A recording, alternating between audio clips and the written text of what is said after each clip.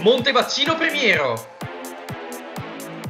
Tavernaro è pronto a riprendere la rincorsa alla vetta, ma la pressione psicologica aumenta di giornata in giornata. I gialloblu devono giocare da squadra se vogliono rallentare i primierotti. Vigolana Valsugana. I gialloverdi vogliono sfruttare l'onda lunga della vittoria alla prima del ritorno per espugnare neutro di Calceranica, ma all'andata la velocità degli attaccanti bianco-blu ha già fatto male ai Valsuganotti.